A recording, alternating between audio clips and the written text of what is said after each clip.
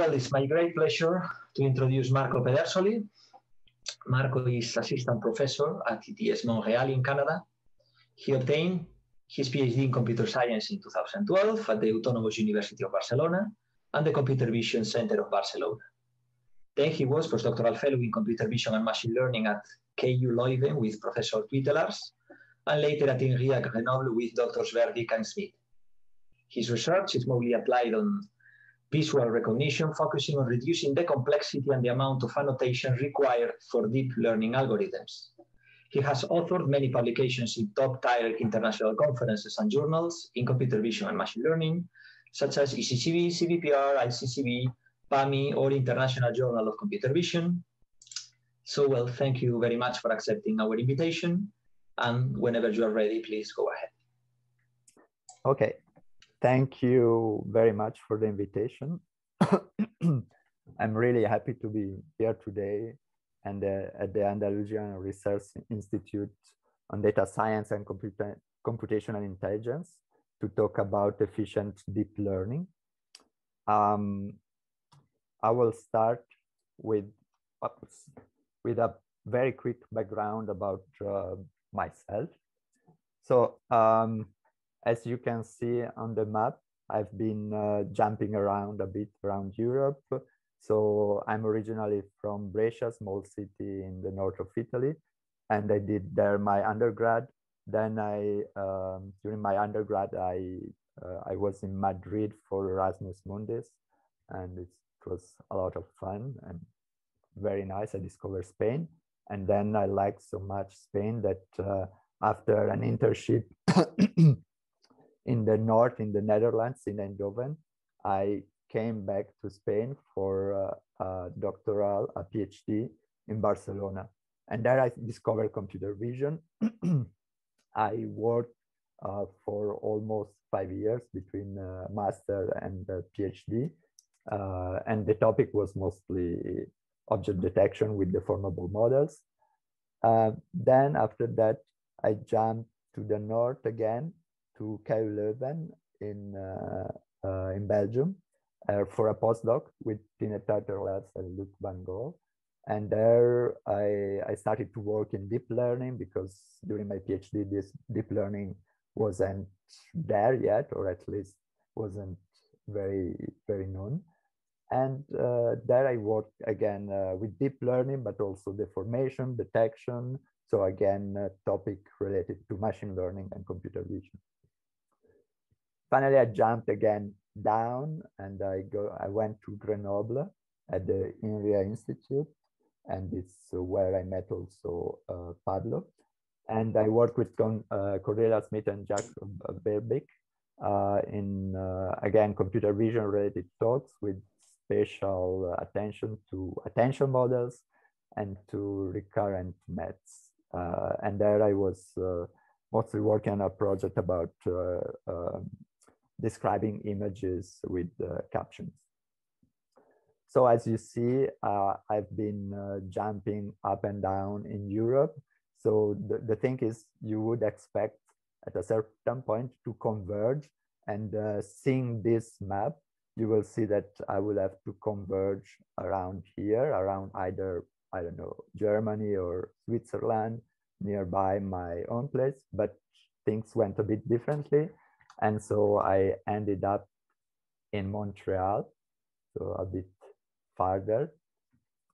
And uh, there is where I am now. I, I, arrived in Montreal in 2017, and I'm uh, at uh, a new university that is uh, École Technologie Supérieure uh, in Montreal, ETS Montreal for short. And this university was uh, born 44 years ago it's an engineering school with 25% of the engineers of Quebec.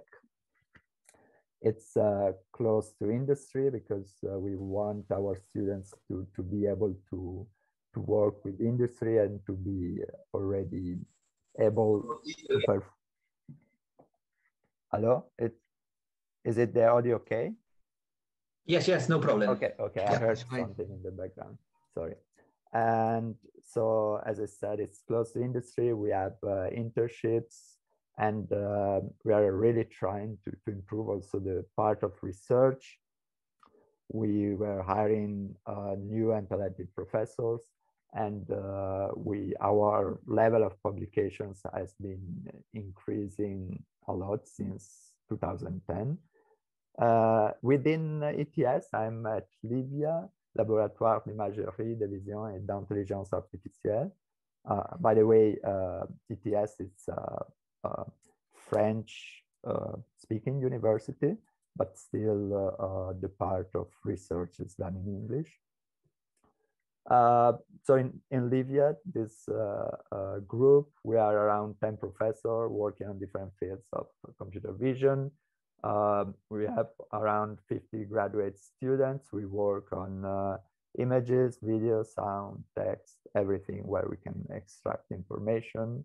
And the applications can be smart buildings, autonomous driving, medical imaging, document analysis, and topics are uh, also broad and can be deep learning, optimization, probabilistic models, fusion, reinforcement learning. So a kind of broad spectrum.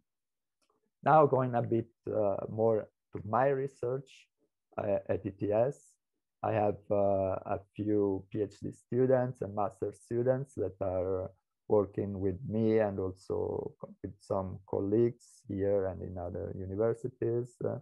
And uh, as I put at the bottom, I'm always looking for excellent students. So if uh, any student is interested in exper experimenting uh, Montreal weather, so Cana Canadian weather, uh, minus 20 in the in the winter. But uh, apart from that, it's a very nice environment, nice city, um, everything. It's I was very very happy here. So, anyways, uh, if you if you are interested, let me know, and uh, we can talk about possible collaborations or uh, possible uh, master or PhD with me. About my research, um, the I have I put this eye just to show that uh, um, what I do is computer vision. It looks a bit like Big Brother, but uh, uh, I always try to, to keep the positive part of this uh, machine learning and computer vision. So trying to, to work for well. Um, so my topics can be divided in three groups, efficient learning. So how to make machine learning efficient, uh, I will talk more about this during this topic, so I won't go into detail. Efficient data, how to uh, use the data in a more efficient way. So how to reduce the amount of data for training uh, or how to use uh, weak supervision, for instance. And the third topic, which is I, maybe the, the newest one for me and uh, quite interesting is data exploration. I call it data exploration, and it's about finding ways to uh, explore data because often the data that we deal with is so large. Think about, for instance, a long video of a person performing an action. Action. In this case, we don't really need to uh, analyze the entire video for knowing which action the person is performing, for instance. So if we have a way to explore this data and know which part of the data is useful and which part we should analyze it in more detail, we can save a lot of computation and maybe even improve performance. Um, now I will go to, to the topic of this, this presentation. So uh, the outline is divided in four parts. Uh, first, I will start with some motivation about what, uh, what I want to do and how. Uh, then I will talk about uh, different families of methods for efficient deep learning. I will give you a bit, uh, I will talk also a bit more about my research in this uh, efficient deep learning. And finally, some latest and interesting results about um, this efficient deep learning. motivation. Um, I think it's quite clear the motivation of why trying to, to make deep learning efficient, because uh, for performing deep learning, we really need a lot of computation, a lot of memory. Here on the right, I put a table where we show uh, the top accuracy uh, versus uh, amount of computation in terms of uh, gigaflops of uh, the most used networks, neural networks, convolutional neural networks. So classic are VGG, AlexNet, and uh, ResNet, and so on. And what we can see from this graph is that if we want to improve performance, we need to increase the computational cost for sure. As you see, the top performing methods uh, reach almost 25 uh, gigaflops of computation, which is really a lot. So the idea is to find ways to uh, push all these, these uh, models towards the left so that we reduce the computation while keeping the same amount of performance. And the size of the circles, each circle, of course, it's a model, the size represents the amount of parameters. That's also something that we are interested in because amount of parameters normally means amount of memory needed to keep these parameters in the GPU. And so if we can reduce that, it's also an advantage. Uh, so we can talk a bit more in detail about computational power needed for these models. For instance, here uh, I took this graph where uh, we see for uh, image recognition that uh, the winner of uh, ImageNet challenge, the most important challenge for image recognition in 2012 was AlexNet and was the first time a convolutional neural network uh, performed so well on a task and was performing much better than uh, all the uh, handcrafted features methods that were used before. But uh, if we go ahead of three years, we get a method that was able to reduce a lot the error on ImageNet from 16% to 3.5%. So again, a quite impressive uh, improve of performance. But this improvement doesn't come from free because uh, at the same time, the amount of gigaflops from 1.4, the amount of computation went from 1.4 gigaflops to 22 gigaflops. So an increase of 16 times. Uh, same things happen also for speech recognition, where uh, in 2014, the best uh, model was having an error of 8% with 80 gigaflops. And in the year after, uh, the best model uh, increased the computational cost by around 10 times and uh, just to reduce the error from 8% to 5%. So the message here is that, yes, uh, with deep learning, we are constantly improving results, but this doesn't come for free because we need more and more computation. and this uh, translates also in terms of speed. Here I have another graph where we see for uh, uh, object detection, a very important task where we try to detect objects in images, um, where we see the overall mean, mean average precision. So we want our detector to have the highest mean average precision and versus GPU time in milliseconds. So this, if we are here in the graph, it means that uh, the detector takes one second to analyze an image, which is normally too much because we would like these detectors to be real time. But we can see again the same thread. If we want to push up performance, we need to increase using the, the same GPU, we need to increase the computational uh, time needed to analyze these images. And the same way, if we want to reduce the, uh, the increase the speed of the GPU, we need to, uh, at a certain point, we reach a kind of barrier where we are not able to reduce further the computational cost unless we reduce also the performance. So the aim of efficient deep learning is to to again try to beat this barrier to find methods that are performing well while at the same time uh, keeping uh, uh, very low computational cost. And finally, what is also interesting, it's uh, what we should consider, it's energy consumption, because uh, although if we think about a single GPU on our computer uh, doesn't do much in the sense, yeah, it will heat a bit the room, but it's still feasible. When we go to data centers, it's it's really a lot of computation. As and as the, the worst is, as you can see, is that the most performing uh, GPUs are also uh, consuming a lot of energy. Here in this graph, you can see the red are the, the GPUs that are uh, consuming the most in terms of uh, watts, in terms of energy. And as you see, if you really want to push GPUs to perform the, the best, we need to consume also a lot of energy. So are there uh, efficient deep learning can also help to to reduce the energy consumption. We'll see in some cases we can do things also on that.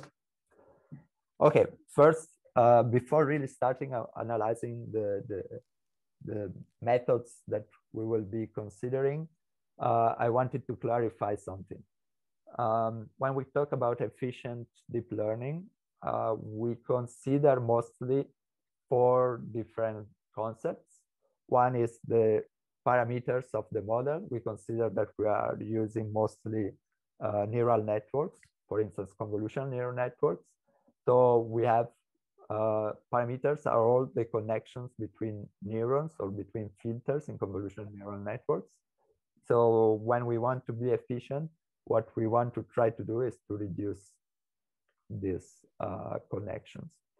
We talk also about memory because we are interested in uh, reducing the amount of memory used uh, for the GPUs because uh, um, normally in GPUs we, we have a limited amount of memory and so uh, we would like to be able to run bigger models in smaller GPUs.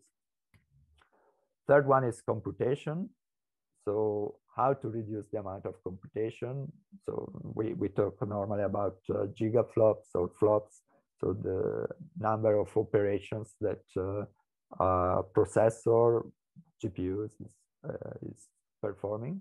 And finally, energy, because this computation translates into energy. So how to make those approaches more efficient and consuming less energy. Normally, uh, what we consider, what is the standard thinking is that um, we can uh, reduce the amount of parameters. And if we have uh, fewer parameters, we will reduce also the amount of memory. If we reduce the amount of memory, uh, we will also have less computation because computation is performed on the uh, memory uh, used. And if we reduce computation, we will uh, reduce also energy. This is very ideal because in practice, we can see that uh, the relationship between parameters, memory, computation, and energy is not clear. It depends on a lot of uh, situations. For instance, parameters translating into uh, memory, it's not always the case. For instance, in convolutional neural networks, uh, we have four uh, few uh, parameters compared to fully connected networks, but the amount of memory of in CNN is much more because we have to store big feature maps of uh, image representation. Uh, memory and computation, of course, there is a connection, but uh, when we have, uh, for instance, uh, a representation that is based on sparse vectors, uh, this is not efficient for GPUs to compute. So in this sense, we can have uh, reduce the memory, but this wouldn't translate automatically in a reduction of the computational costs. and finally, computation and energy. yes, there can be a direct connection between computation and energy, but it's uh, very hardware dependent. So we can see uh, the, the, how the computation translate in energy. It depends a lot on the hardware that we are using. So last, very last uh, slides before really checking methods. Uh, it's about uh, when we talk about efficiency, when during training, during evaluation, and uh, I will say, at least in my interest, it's in both because evaluation it's very important because we it's when we deploy our method and we want this to be efficient. For instance, if we use a camera to detect people, we want it to run real time. So we need our detector to be very efficient. But at the same time, we want to be efficient also during training because uh, especially with modern methods, they require a lot of data and uh, very expensive, expensive methods. So it's, uh, it's important to be able to reduce the training time because otherwise we either we are Google or Facebook where we have uh, tons of GPUs, uh, but even in their case, when they train very large models, training can take ages. So we will, we would like to have uh, reduced time for training. And I will talk about many different methods, but just to give you an idea, when we talk about reducing evaluation, we can think about uh, weight pruning because if we prune weights in a smart way, we will reduce the computational cost of the method.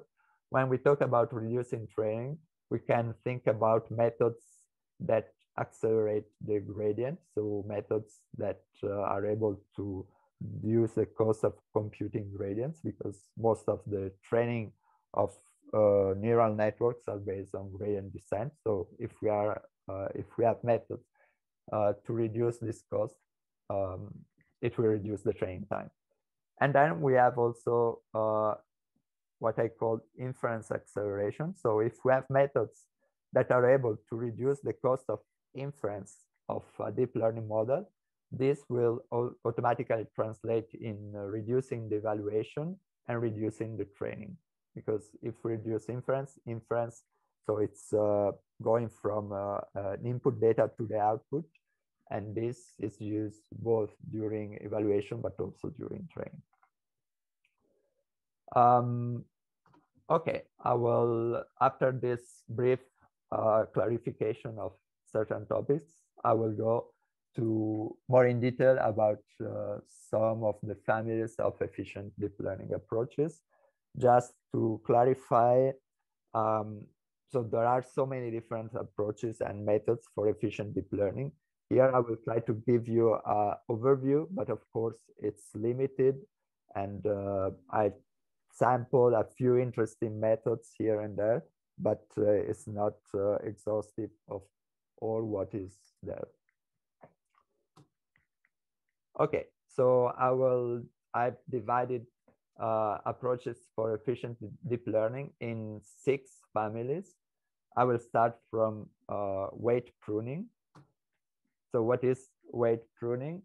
It's uh, a method, as I said before, to go from uh, a network where all the connections are active, because normally it's what we do. So when we have a neuron, this neuron is connected to all the, the neurons of the previous layer in a standard case. We have also kind of different models like convolutional neural networks. We have uh, uh, receptive field, so it's not uh, uh, a neuron is not looking at everywhere in the image, but just uh, a local region. But in any case, what we try to do with weight pruning, it's taking a trained neural network and checking this network and finding ways to remove some connections that are not important for the final result. And uh, normally the simplest way to, to perform prune, pruning is to check the magnitude of this connection. If the magnitude is low, so it's close to zero, it means that the weight is not very important for the network because if the weight is zero, it means that uh, there won't be any signal propagating from one layer to the other. So we remove those neurons that are close to zero. We will see later that this is not optimal, but it works pretty well.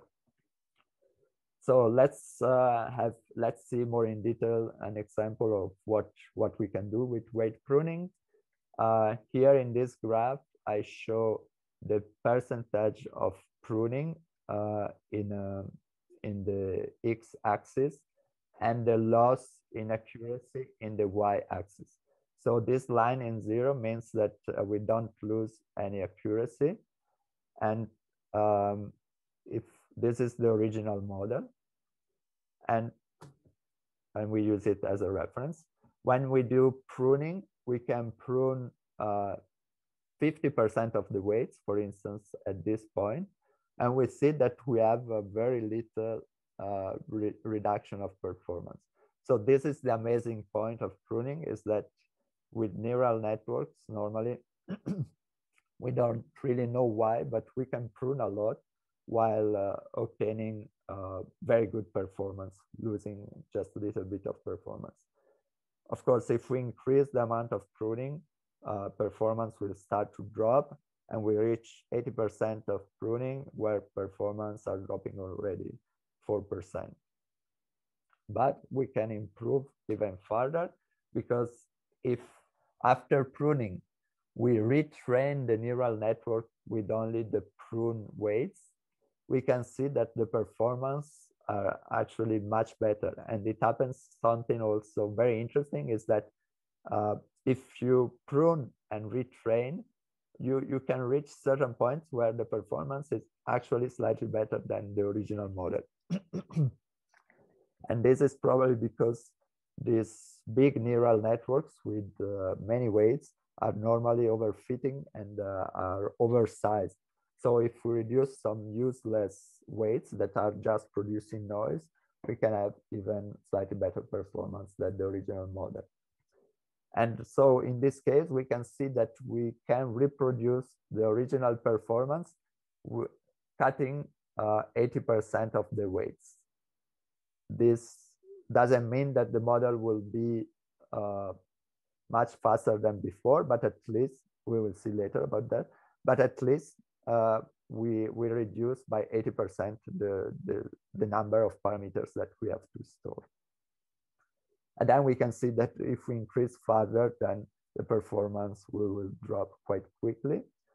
But we can add another additional step that can further improve this performance. And it's repeating this uh, pruning and training multiple times. So we have an iterative approach where we prune, we train, and then we prune again and we train again. And with this iterative approach, we can reach up to 90% uh, pruning while keeping the same performance of the original model. And when I saw this kind of results the first time, I was amazed that uh, so many parameters are actually useless in a neural network. And this is still unclear or not fully clear why uh, this is happening. But uh, in the end of the talk, uh, I will give you some hypotheses about this problem. Um, an interesting paper that used this uh, kind of pruning approach is called dense sparse dense uh, uh method, where what they did is an improvement compared to the standard pruning, where again, they start from a dense model, they prune and they obtain a sparse model, but then, and so again, depending on how much you prune, you can reduce a little bit the performance or not. But then the interesting part is what they did is uh, with a sparse model, they reconnect everything. Uh, so every neuron with the other. So they reconnect everything. They add again the weights that were removed, but they initialize those weights to zero and they let the model train again. And this approach, it's it's interesting because of course you end up with a final model that is the same size as the original model.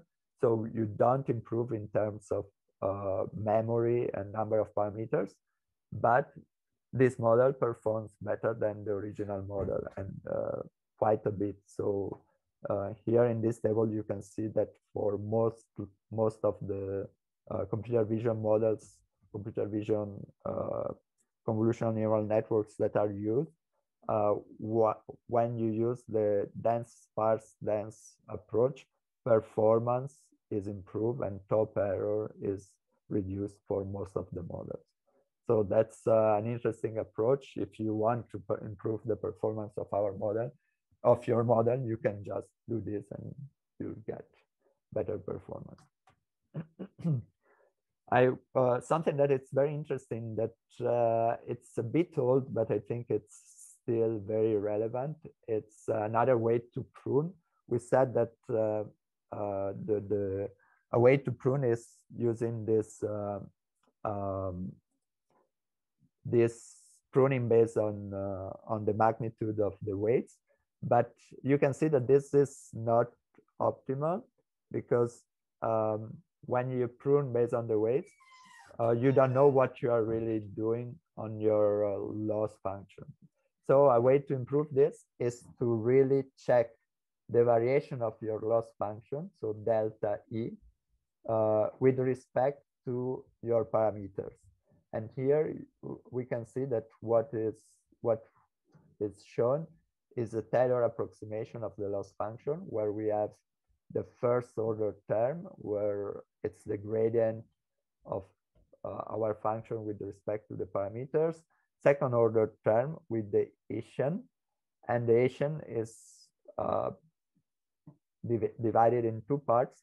The so the Hessian is this uh, uh matrix where we we have the second partial derivatives of the uh, loss with respect to um, pairs of parameters, and what what it, this is divided in two parts. One that is uh, applying the partial derivative on the same uh, the same weight, and the other one is applying on different weights. And uh, so this here we have this optimal brain damage. That what it says is that we want to find uh, a way to be sure that we remove those parameters that do not affect our loss. So uh, it's more principle, it's a more principle approach. And but this can be applied only at the end of the training because we have some uh, assumptions that are valid only at the end of uh, network training. So we train the network and then we can use this approach. And uh, the first assumption is that uh, the uh, model converge. So if the model converge means that it reached uh, a local minima. So the gradient there will be around zero. Uh, with very deep learning models, it's known that it's not always the case, but this is the assumption. So this part, we, we want to look at this part because the gradient will be zero. Then we don't look to this part because we approximate the Hessian only with the diagonal. And so what we say is that uh, we we look at this uh, terms of the Hessian, and uh, we want these terms to be uh, as small as possible when we we um, we select our the parameters that we want to uh, remove. And and this uh, has been shown that it's uh, actually uh, sorry okay. Has been shown in this old paper from LeCun that uh, using the optimal brain damage compared to the magnitude pruning uh, gives better results. So the in this case, the mean square error of their model was reduced when uh, using this approach. Um, jumping to a more recent approach, here I, I present uh, a method that was in ICCV 2017. is called Slimming Networks. And this one it's uh, it's very simple, and I really like the idea because the idea is that um, we don't modify the the structure of our network to be able to remove uh, parameters, to remove layers. We just check the we have batch normalization on layers, and if we check the scaling factor associated to batch norm, we have a good way to know which weights are important and which no, because where the scaling factor is close to zero, again, it means that uh, the importance of the corresponding channel on the next convolutional layer will be almost nothing. So we can remove that. An important thing that I should mention here is that in the previous uh, approaches, I was talking about removing weights. So it was kind of what we called unstructured uh, pruning because we remove any weights without any structure. Here, what we are talking about, it's removing filters or channels in a convolutional layer. So to remove a channel means that you need to remove the entire filter used in a CNN. So it means that uh, it's a structured pruning because we don't remove a single weight, but we remove the entire filter of a CNN. Of course, when we do that, the amount of um, weights that uh, that the amount of filters that we can prune it's lower comparing to removing all the weights because it's uh, in a coarser scale either you remove an entire filter or not you can you cannot remove a single weight but the, the advantage is that you can really translate this into a speed up because if you remove weights uh, in an unstructured manner you end up with a sparse representation. And as I said before, sparse representations are not good for GPUs, for, uh, uh, for computing. And so the, the reduction in uh, parameters won't translate in a reduction of computational cost. But if you use a structured methods like this, where you reduce, you remove filters, this can, uh, uh, can be seen again as uh, a structure approach and there the reduction in uh, number of filters can translate directly into a reduction of computational cost. Okay, to conclude this part about weight pruning, and I see already that I'm uh, quite late, so I have to speed up for the next.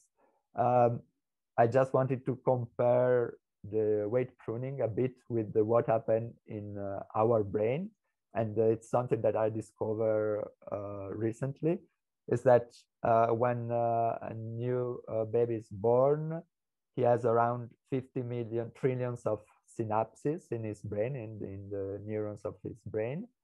But then if you check the number of synapses when uh, the baby is one year old, it's uh, 1,000 trillions. So it has a crazy increase of number of synapses.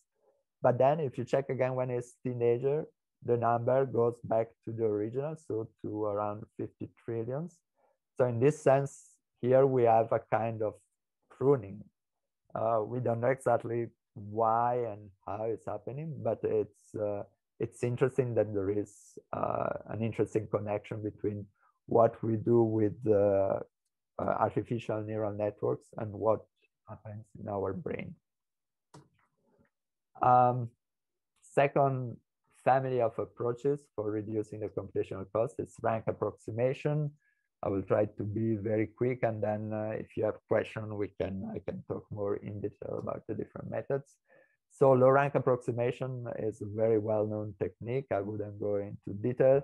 The idea is that we have a matrix, and we can instead of uh, parameterizing directly this matrix, we can uh, uh, build this matrix uh, matrix as a um, a dot product of two uh, matrices with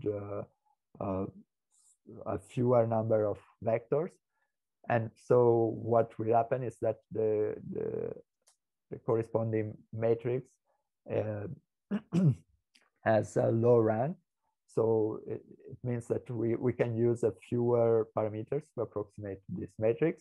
And this is good because uh, we can use this approach for uh, convolution because uh, convolution is a 4D tensor. And so we can try to reduce the number of parameters used to represent this tensor, approximating it with the low rank approximation.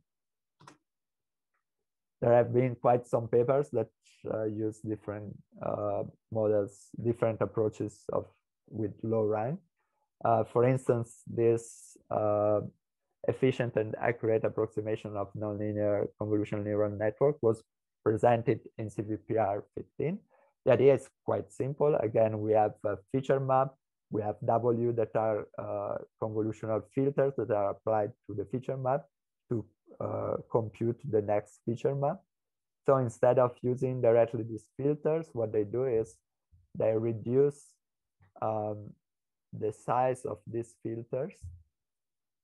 So they, the, the output will have uh, the first number of channels where the first is lower than b And so this means that uh, there is a saving of computation because the, the expensive filters of a convolutional neural network, you think, can think about filters of three by three size or five by five size. They, they're applied with the fewer channels. So the computational cost is reduced. And then there is a second step where this uh, feature map is transformed back to the original size with one by one convolution that are uh, that are cheaper to compute. So com uh, altogether, the combination of these two gives the same, uh, gives a good approximation of this model while reducing computation. Uh, there are also other techniques that uh, go further in this direction, how to, to approximate, uh, again, these filters with the low rank approximation. For instance, uh, in this paper that was published in BMVC uh, 14, uh, what they do is to decompose this square filter of D by D into uh, a row filter and column filter. So again, this way uh, we reduce the computation. And this can be done uh, in uh, one step approach where we apply uh, horizontal and vertical filters and then we restore the original uh, feature map size with one by one convolution, or it can be done in two steps. And uh, actually in the paper, they show that the two steps approach, so the C, it's uh, better than the, the B approach. And something interesting, it's also what we really do to approximate these filters. We can uh, approximate these filters in, uh, in a way that we try to reconstruct the filters. The advantage is that we don't need to uh, check the data, we just need to uh, approximate these filters.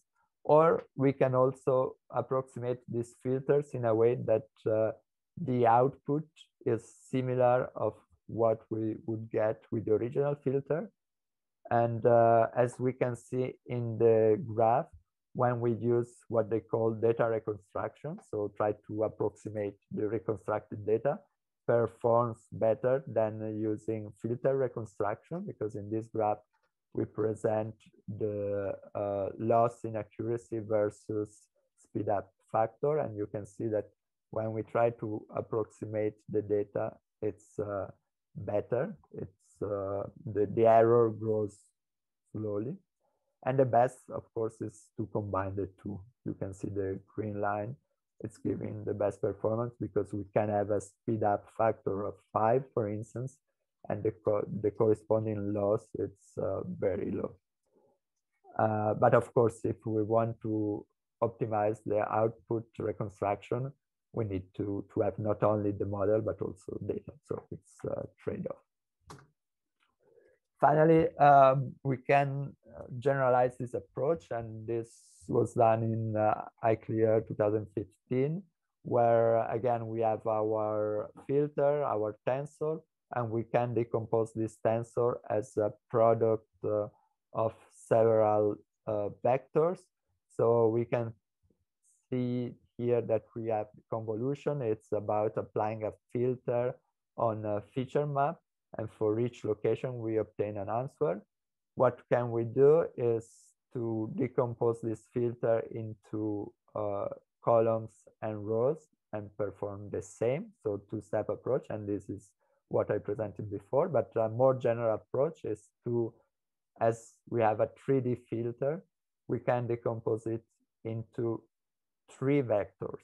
And so we go first one where we pass, uh, we the vector is computing only, um, it's one by one size and it's uh, evaluating only the channels then a second vector that is evaluating only the rows of this feature map and the other only the column.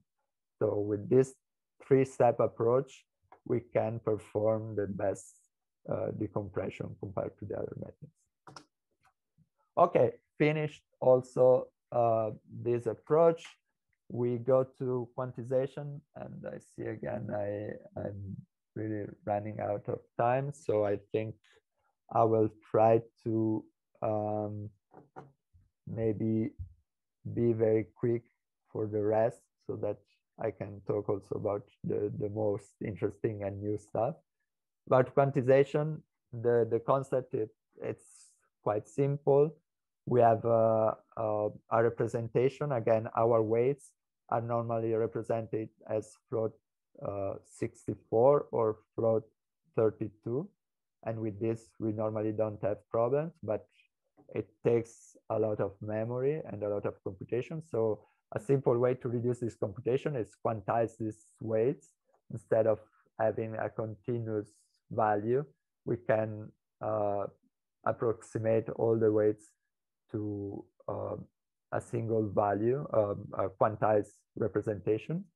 And this can be done uh, with uh, integers and we can go down up to a binary representation where a filter can have only two values, either minus one and one. And uh, what was really surprising for me is that even with this very uh, coarse representation, the model still perform reasonably well. So it's, uh, it's quite amazing.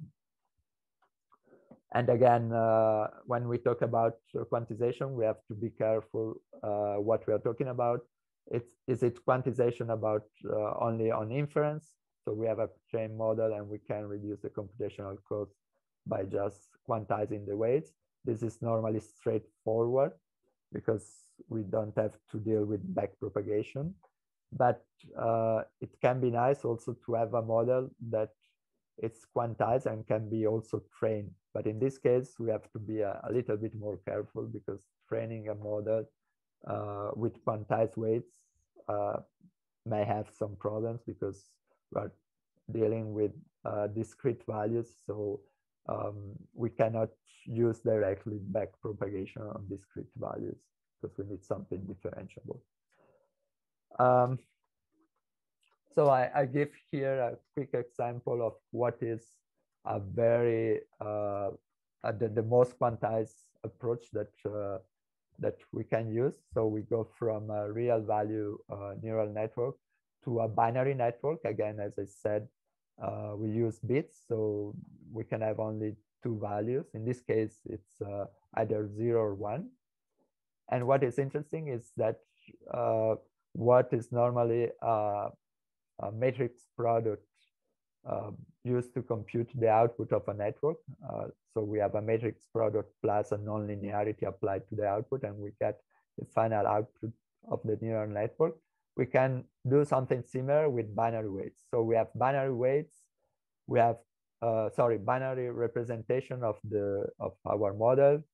Uh, we have binary weights and what we do instead of uh, just the, the scalar product of the two, we perform an XNOR uh, with bit count product, and this will produce um, an output that has uh, represents how many times the the input uh, was similar to to our model, and once we use sign, we apply sign on this uh, representation, so we have a thresholding we end uh, with again a binary representation. So we can use this uh, as a substitute of the original neural network approach.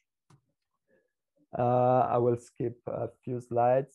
Maybe I will uh, show here something interesting that is uh, the different ways we can quantize a neural network. So we can quantize either only the weights, but the gain in computational cost is reduced because we still have to compute uh, floating point operation on the input, or we can quantize both, as I uh, showed you before, and we get uh, a huge speed up in performance because instead of performing the standard floating point products, we perform just bitwise operations, but we have also a drop in performance. So while these models uh, achieve a, a, a accuracy of 56% on ImageNet, this model is low to 44. Uh, so what, uh, what we can also do is to, uh, in this case, we were talking about just using a model, uh, transforming a pre-trained model on a binary model. Here we can see that there are also approaches that try to train a model with, uh, um, with binary weights. And uh, for doing this, we have to use some, uh, uh, we have to apply some changes compared to the binary approach. And uh, so first change is to reduce the learning rate because we are dealing with this uh, hard quantization. So some way it's better to have a reduced learning rate. Also using a different uh, regularization that forces weights to get close to the binary values. Uh, if you're interested, I can talk a bit more in this afterwards. And then finally adding a scale coefficient in the softmax uh, last layer to improve. And if we do all of this, we can see that the performance on ImageNet, it's much better and it gets closer to the performance of the uh, normal model. So it's between five and 10 points below the performance of the normal model, but we have a, a huge compression and a large reduction in computational cost. Uh, to finish with this quantization approach, uh, I wanted to mention that there is also a different way of quantize based on clustering. So you can think about your weights are uh, 1D representation, and this 1D representation can be clustered to uh, some values. So for instance, here we have the float values, and here we have the discrete representation, and for each position, we select the closest uh, cluster that can uh, represent these values.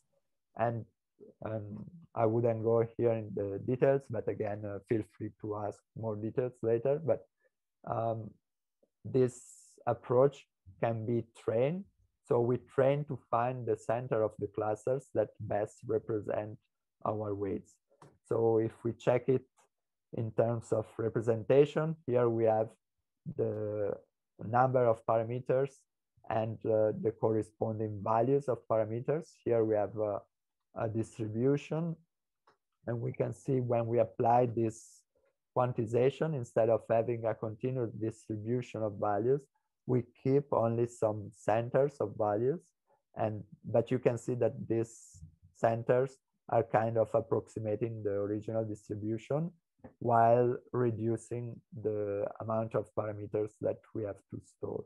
So that's uh, a kind of uh, learn quantization because we don't quantize with a fixed uh, a grid of values, but we quantize based on the data that we are dealing with.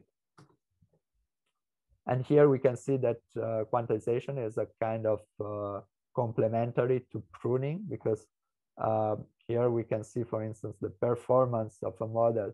Uh, again, here we, we check the accuracy versus compression rate, and we can see that a model that uh, uses both pruning of the weights and quantization performs much better than uh, using only pruning or only quantization. So it's uh, interesting to combine the two. Good. I am quite late. I'm thinking uh, maybe for the next three approaches, I will give a very, uh, very fast overview, and then I will go to something uh, more interesting, the last part. So computational, uh, conditional computation, the, the idea is simple. It's uh, reducing the computation, computational cost of uh, deep learning approaches based on the data. So if we have a simple image, we will use a simple model. If we have a complicated image, we will use a, a more complicated and expensive model. Of course, we need something that will tell us if an image is simple or not. So we'll, we'll have an overhead for uh, selecting which kind of model we want to use for each approach. But if we do it in a smart way, we can gain, uh, uh, we can reduce the computational cost of the approach. Uh, simple approach is based on cascade. So in this case, we want they want to perform face detection, and they start with a very uh, coarse resolution representation and a very small model. And then if the output is not sure about uh, what is in the scene, uh, it will give the output the the model the, the input with the higher resolution to a second network, and so on uh, until the end. So in this way, for those parts of the image where it's clear that there is no face, we will compute only this model, which is quick. For those parts of the image where uh, we think there is a face, we will compute a more complex model, but it will give better performance.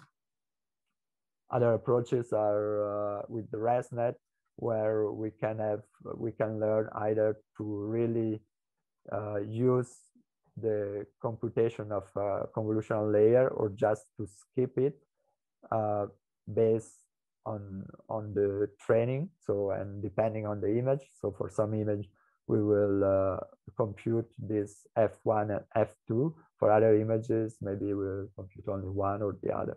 So again it's a way to save computation.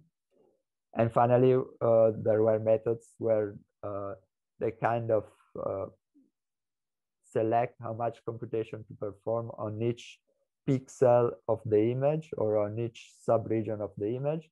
This looks very interesting and promising in theory, but if the aim is to save computational costs, it's not very appealing, again, because the convolutional neural networks are run on GPUs and GPUs, they need dense data. So if we have an approach that selects some pixels, but not others, for the GPUs, the, the gain in computational cost is not much.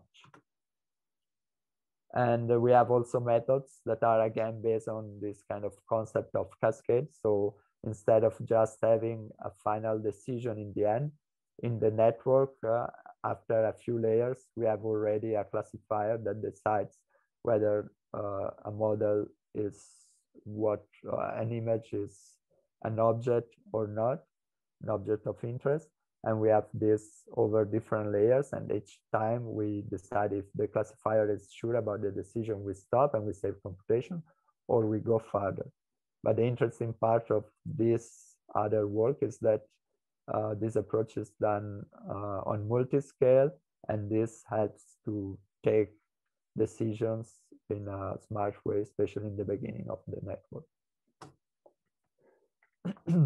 I will go quick to distillation. Distillation is uh, another approach to reduce computation. The idea is that instead of training our model directly on the uh, one hot labels, so on labels that are telling here there is a dog and there is no cat, no other animals, we have a teacher. What is a teacher is another neural network that has been trained and normally it has, uh, it's a large model can be an ensemble of models and it performs uh, it's computationally more expensive than the student. And what we do is instead of giving the student passing directly the student these labels we pass the student the output of the teacher. So it's a kind of uh, smooth version of this. And uh, the idea is that this uh, the output of course, will uh, it's a set of probabilities that says uh, uh, where the object of interest is, if the output is correct. And uh, what is interesting, we see that if we train in this way using the output of a teacher, uh, we can get better performance than training in the standard way. And this is the concept of distillation. So we can see instead of using directly the original target as a ground truth, we use the output of the teacher uh, with some additional smoothing that is given by this temperature uh, value that we scale here. And if we use the right scaling, we can again obtain better performance. Here, a very uh, a simple example of the performance.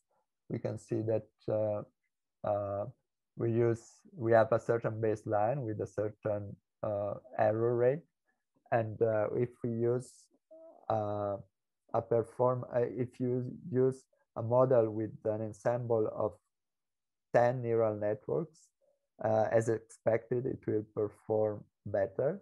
But then what we can do is using this ensemble as a teacher in uh, distillation and uh, using a single model, so much less computation, we, we increase its performance by more than one point. So to get closer to this model that is 10 times more expensive. So that's the nice concept. And to finish with this uh, set of families of approaches, we go to architectures. So instead of trying to uh, change the some pre-existing architecture with most of the methods that we mentioned before, what we can do is to find uh, new architectures that can be thinner, thinner, uh, lower resolution using lower resolution images, fewer layers, fewer parameters, or different uh, operations to reduce the computation. And uh, there have been quite some approaches on this. The first one, or more interesting one in the beginning, was SqueezeNet, where instead of using directly uh, a convolution, and they were first reducing the number of channels uh, for the convolution with one by one convolution, and then applying a three by three convolution on a reduced set of channels. So again, saving computation. And then playing a bit also with the max pooling so that uh, the feature map is smaller. Uh, but this approach was saving a uh, number of parameters, but uh, computationally wasn't changing much. Uh, then we have MobileNet, where uh, it reduces the amount of parameters, but also it's more efficient. And the core idea of ImageNet, uh, MobileNet, is to use depthwise convolutions, where instead of applying multiple convolutional filters on all the channels, here we apply uh, for each channel a different uh, convolution. So we save a lot of computation. Of course, it's not the same thing as using different uh, uh, filters on all channels, but combine with then a one by one convolution that can uh, uh mix up the different channels. Uh, performance is comparable to the, the, normal convolution, but with a much reduced computational cost. And finally, there is this ShuffleNet that was presented, I think, in uh, 2017. And here, uh, the idea is to use group convolution. So instead of uh, uh using all channels for computing convolution, which is very expensive because uh, if you think about uh, convolution with all channels, the computational cost is squared to the number of channels because we we have the input channels and the output channels. So we, for each input, we have to evaluate all the outputs or the other way around.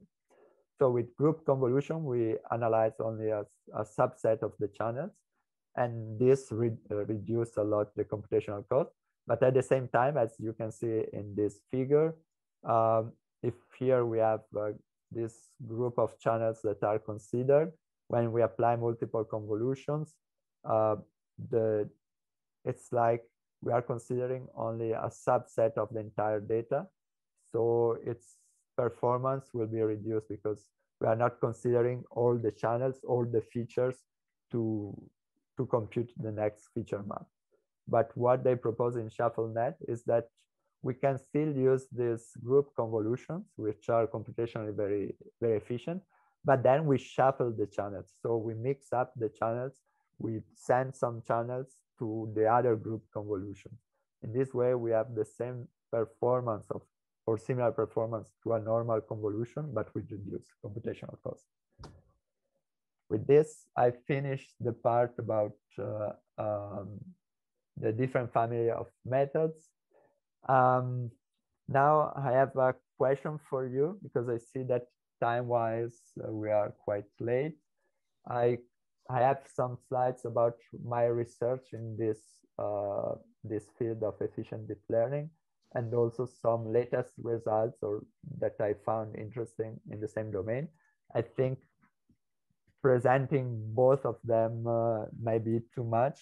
Uh, maybe uh, you could tell me which one uh, you would prefer to see and then uh, so that we can save a bit of time and then maybe in the questions I can talk also about the other.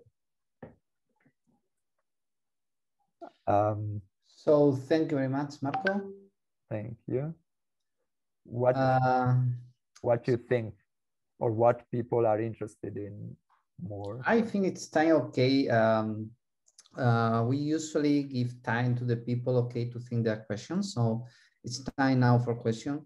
So, um, uh, so, so anybody... sorry, sorry, uh, Pablo. I was just thinking because I have this uh, still these two topics. I was thinking maybe to present one quickly okay.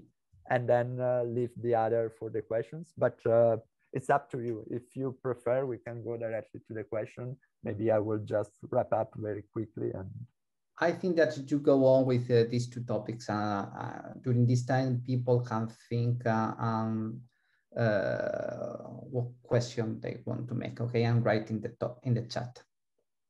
Okay, um, so I will go quickly with my research, and then and then we can see from that. Okay.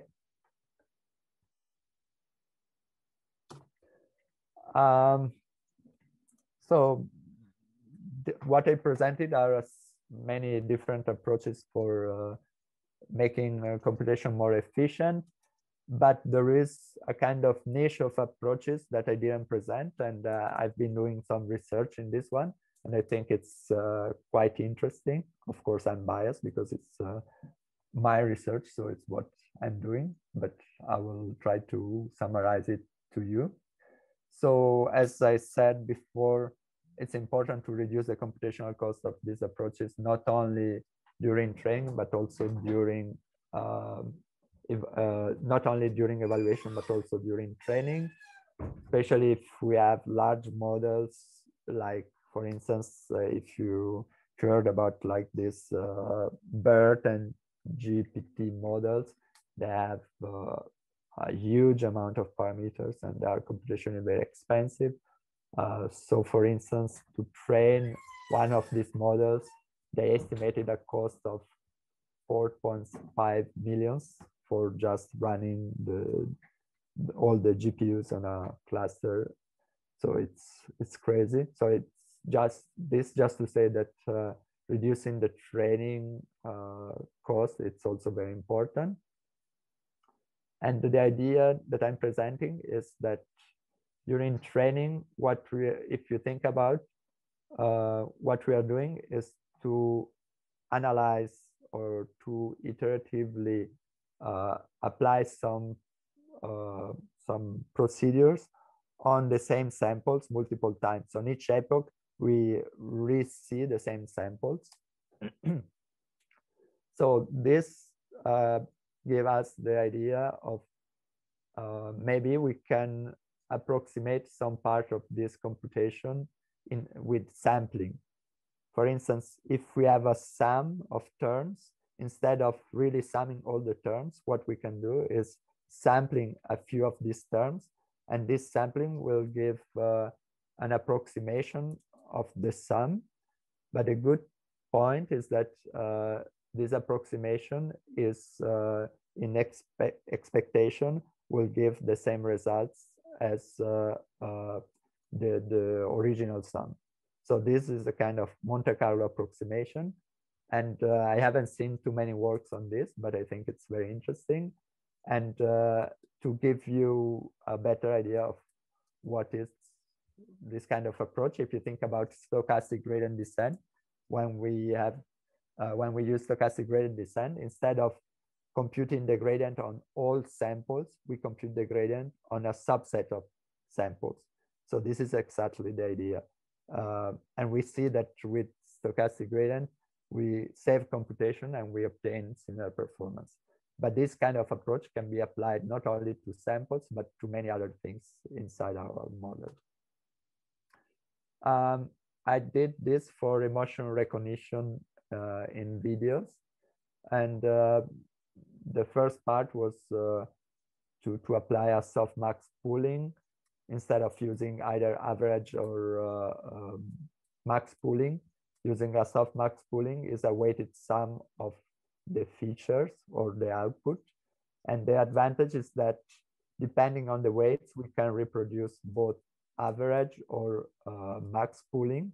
If the weights are all uniform, we have average. If the weights are one for one feature and zero for all the others, we get max pooling. So uh, in I have the first paper where we show that uh, this kind of pooling works well when we want to recognize emotions in a video. Like in this case, you can see that uh, uh, only one part of the video is really responsible for the emotion. And here I see the probabilities of a certain emotion. So using this kind of pooling, it's uh, gives better results and makes sense.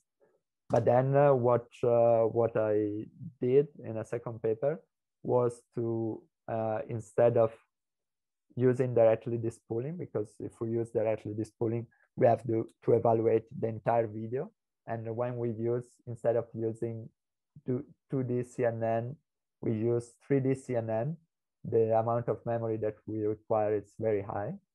And so what uh, we need to do is to sample and uh, I will say, I will, I won't go in details because we don't have time, but we propose a method to sampling uh, these videos so that we reduce the computational cost and the memory while performing uh, the same weighted sum, the same uh, uh, softmax pooling, and we call this stochastic softmax pooling because uh, instead of analyzing everything, we sample. But as we do this in an iterative way during training, we end up with uh, similar performance as, as uh, we will evaluate everything at every iteration. Here are some examples of uh, what we do. So you can see that uh, uh, this curve represents the, the the most important part of the video to recognize the action, like in this case, a cartwheel. And here we you can see our sampling that focuses on the interesting part of the approach. Okay, so this, I think uh, maybe I can skip this part and leave it for question if uh, anyone is interested. Just I wanted to say, I wanted to thank Because uh, uh, this presentation uh, is a kind of collaborative work with him because uh, Pau is, uh, by the way, he was he did his PhD in Barcelona as me, but later, and then uh, lately joined uh, Element AI, where he's um, right now. And so these slides were actually initially some course that I was giving in French in at my university. Then he, he selected uh, some and made a presentation for for a course, a master course, and then uh, I took this presentation and I improved it for, for this one. So that's it for the moment. Thank you. And uh, I hope uh, uh you like the presentation and I'm here for your question, comments, or ideas. Thank you very much, Marco, again for your nice presentation. And okay, now is it's time uh, for our audience, okay? Uh, our audience uh, is free to make any question. So the first one is uh, Angel. To... Hello, do you hear me? Yeah. Yes.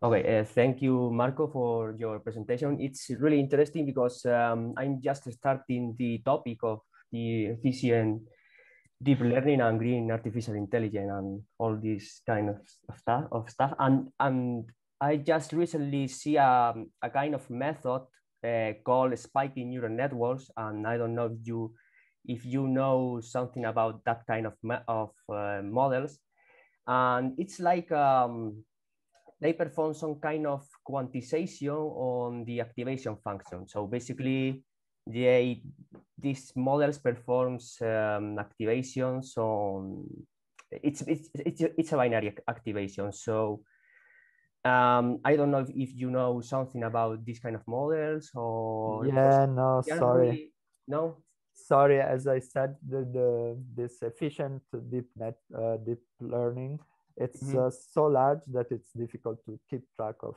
everything. Mm -hmm. I I guess if you say that it's uh, like the output is binary, it has some connection with these binary networks that I quickly introduced. Mm -hmm. But uh, I didn't see the paper, so I don't know in detail. But uh, okay, I, I, will be yeah. If you can send me the paper, I will be yes. Sure, sure. It's to... it's really they are really interesting, I think, because you know they they can be implemented in hardware and they are very and, and, very efficient and the aim is to to be efficient right? Yeah yes. Because they they they get rid of the matrix multiplication basically. So they just integrate all the weights and do they it. compare with this uh, xnet uh, XNOR network maybe? Uh i actually i don't know. I don't know. I don't know. Thank you. Thank you. Thank you. So thanks, Angel. So next is time of um, a question by Alberto Castillo. Alberto doesn't have um, a microphone, so he wrote uh, his question. So he says that uh, Marco, when one training is in the training state uh, or the training stage cost, um, there are large models and you want to optimize this process, okay, isn't it? how how could you proceed okay in the training stage of a large model okay? So maybe okay here uh, alberto writes the the question is not okay very explained but okay so in the training phase of uh, of the learning model okay? So how can you optimize hmm. the process of the training okay? Yeah yeah um, so there are many different ways to to do that. Uh, let me see if i can go to my slides. Um, yeah um, so going back. So i presented here uh, six families of methods. Some of them are uh, just for inference, so we don't touch the training, but there are others that uh, are also for training. For instance, when we talk about uh, architectures, if we reduce the computational cost of an architecture using, for instance, uh, some of the approaches that I explained. Uh, this, okay, Marco, Marco, yeah. Ah, okay, vale. Uh, I, I, have the microphone yet. Uh, the question uh, concretely is um, the cost of the training of a very large model like GPT-3. Yeah. the cost is is high, so you cannot try and test your procedure. for example, you think I can optimize uh, with uh, one, two, and three methods, okay? But you cannot uh, try and test because the, of the, the high cost. What could you do or how do you proceed for in this in this type of large models?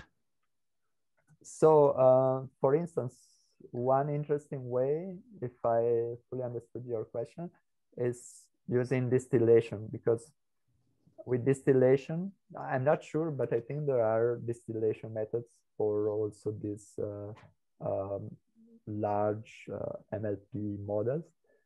And the, the idea is that you don't use directly the, the large model, but you can train a much smaller model uh, with the help of the output of the big model.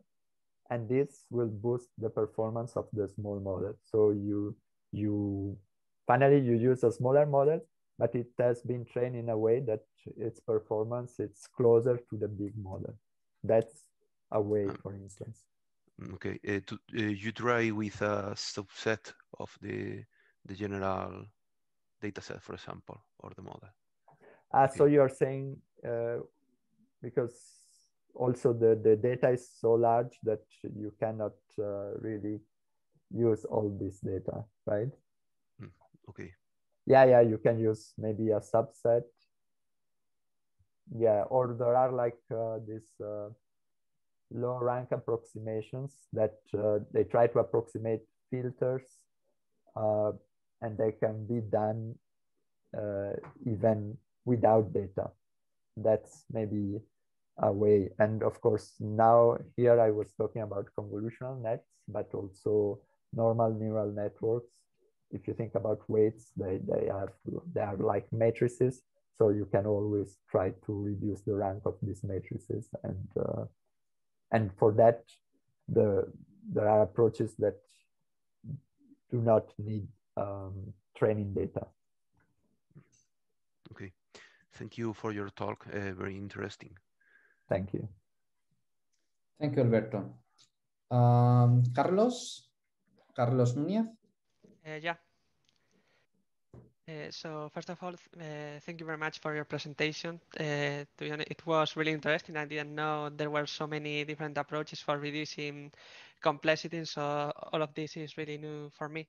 So uh, my question is about the part of weight pruning, because you yeah. mentioned that weight pruning is sent only for uh, the for uh, increasing the i mean for reducing the complexity you can also use it uh, regardless of complexity to increase the performance so you mentioned that part i think like uh, you prune the model you add the weights and you retrain it but i didn't quite grasp the idea of i mean how you do it because if you add the new weights, uh, what do you do with the old ones? You fix them or you train the whole model again?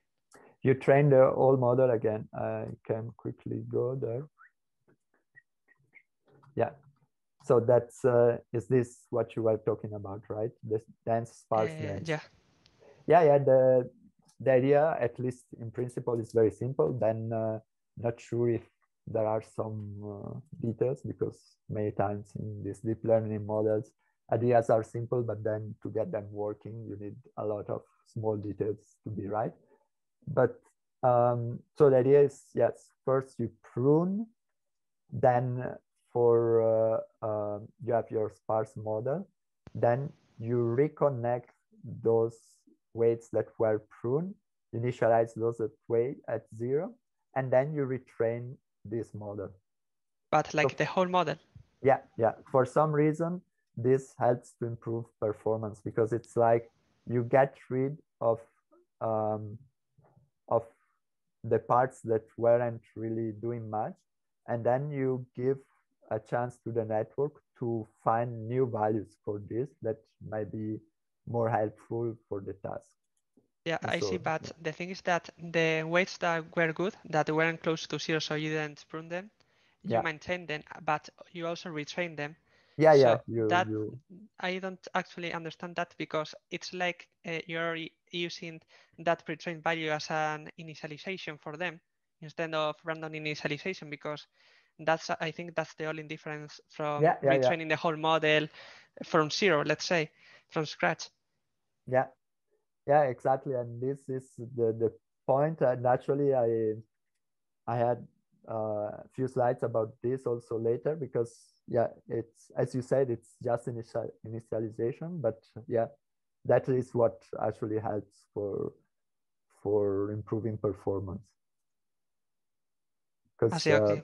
yeah yeah and uh, yeah i had if if I have a few minutes, I can also uh, talk a bit more about this because I have some latest results. But uh, I will prefer first maybe to, to get a few more questions because I already talk a lot. And I think we are already late with the, with the schedule. Perfect. Thank you very much. Thank you. Thank you very much, Carlos. So, uh, Danny, it's your turn. Yes. Yes, thank you. Marco, uh, it's a great talk. It's very interesting. Me and Javier are working, have been working in improving ways in neural network. And we, this is the part of his PhD. And now we want to consider another option to improve better the network. What do you recommend us? To try to optimization of the architecture or quantification? Sorry, quantification or? Or try, try to simplify the architecture. Uh, because we were considering the architecture, but now that you have shown us so many options, so I get double of that. well, they are all interesting.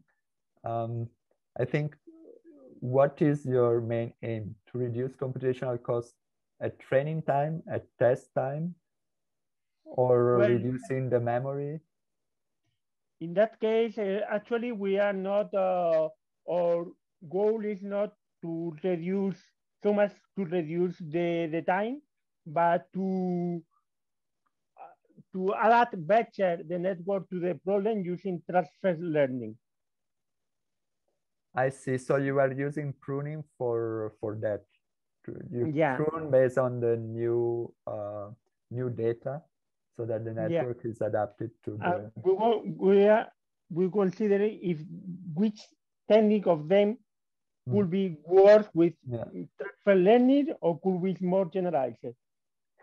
I saw uh, some papers that uh, they use distillation for for that because with distillation the good point is that you don't have to you, you can deal with different very different models but you transfer yeah. the knowledge from one to the other so you can do it also when you change domain and uh, so you you kind of distill the information of your teacher of a big model on your new domain uh, with your student and that it's something that seems to work quite well.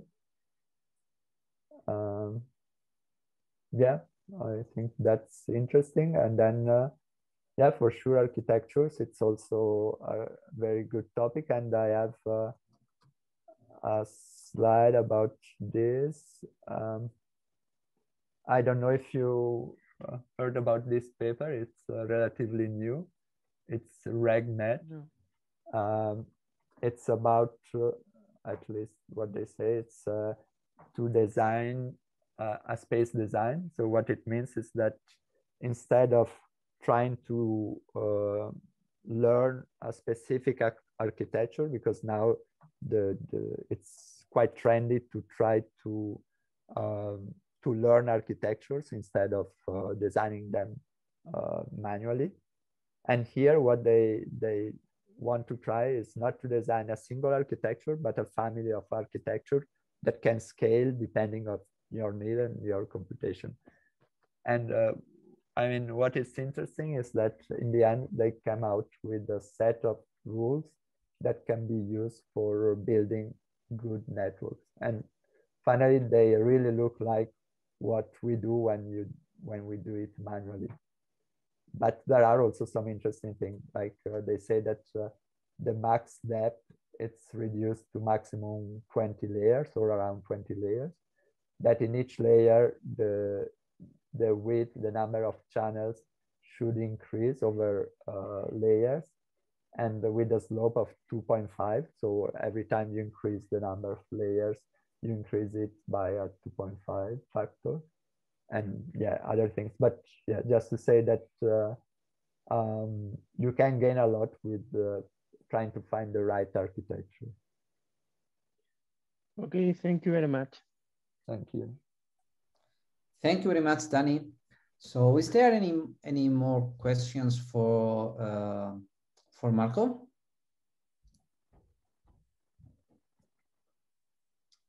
Yes, Nacho, go ahead. Yeah, hello, Marco. Can you hear me well? Uh, yeah. Yes. Yes. Okay, so first of all, thank you very much for your presentation. It was very nice. And I found it really interesting. Uh, but uh, two questions uh, arised me when uh, I was listening to you. First of all, um, you were talking uh, most of the talk, I think, about convolutional neural networks and uh, fully connected or dense neural networks as well. Yeah. Um, but uh, in my case, for example, I'm working in anomaly detection, which uh, in time series data, which Yeah. involves uh, LSTM or long short-term memory cells, Yeah. Which are really, really um, high cost in computation. Yeah. And uh, I found these uh, ideas really interesting, but I don't know how to apply them. For example, for an forecasting LSTM model or uh, autoencoder LSTM model, for example. Yeah, yeah, that's a very good question. Um, so for uh, recurrent neural networks, one problem is that they are sequential, right? So you cannot train them uh, in a single shot because you have uh, the state of the network that should be propagated from one to the other. So that's the biggest problem because especially if you have very long sequences, you cannot analyze every time step of the sequence in a single shot. You have to really go through uh, the time. And that's a big problem when you want to train these models. How to solve that? I mean, there are, I, I saw, it depends a lot on the problem, of course. I saw, for instance, for uh, some problems, they, they could get good results with convolutional neural networks instead of uh, uh, recurrent nets. So in that case, you don't have this the problem of analyzing the sequence step by step. So you save uh, you you can do the training much faster. Uh, and then the the other option, which it, uh, can yeah, I think it can still reduce the computational cost, at least in some cases. It's to use uh, transformers where you can improve quite a bit depending on the task compared to recurrent neural networks. And, uh, and in that case, again, you can also save computation because I think you don't need to, to perform the training in a sequential way. Yeah, I think they can do it in with the whole sequence. And uh, yeah, so uh, for example, you find it suitable that I can use uh, some uh, of these efficient deep learning techniques. If I use a, for example, 1D convolutional neural network uh, followed by several LSTM cells, I could use some of these techniques with convolutional neural networks before applying the LSTM. I could, for example, separate it in two different models or, or structures so I can optimize one independently from the other. Yeah, although if if you have uh, LSTM, you'll always have the this problem of uh, like yeah. analyzing your data sequentially during training, which makes it very slow. I don't know what's the length of your data, but uh, if it's more than uh, a like maybe 10 or 20 time steps, it might get very slow. Yeah, it could be even 900. Yeah, so uh, really high. Then, yeah, and one question, which is, I think, a little bit more easy. All these techniques are really interesting, but uh, have you found any framework better to work in an efficient way for deep learning than another? Uh, I think in in my case, I like to work with PyTorch, but uh, I'm not sure if uh, if any framework is really better for this specific kind of efficient deep learning. Um, I like PyTorch because it's easy to to test things, but of course, if uh, performance is your final aim, then maybe for the final model, uh, you might think to go to something else. Although now I saw that there is also a way to port PyTorch code into C++ code, but I never tested it. Okay, okay. I think that if you you if you use PyTorch, that is an answer. Okay. Thank you. Thank you. Thank you very much, Nacho, for your question and for your participation. So, Marco, I think Yeah. it's time to be uh, to finish. Okay, as you see, okay, the topic here in our research institute is uh, now, I can say, trendy. So people are starting to to work in how to make deep learning more efficient, efficient because we know that artificial intelligence in the near future we need a, a more efficient artificial intelligence. So thanks for for your talk. I I have to say you thanks in the you know, on behalf of Pablo. Pablo is now in uh, in one lecture giving a lecture, so it's not possible to, to say to you goodbye. So I don't know, Paco, if you want to to say something before uh, saying goodbye to our uh, presenter. Only a few words to thanks uh, Marco by your very interesting talk. Uh, really, a lot of uh, members of the of the institute are, have um, interesting question, and it is a topic that we have interest.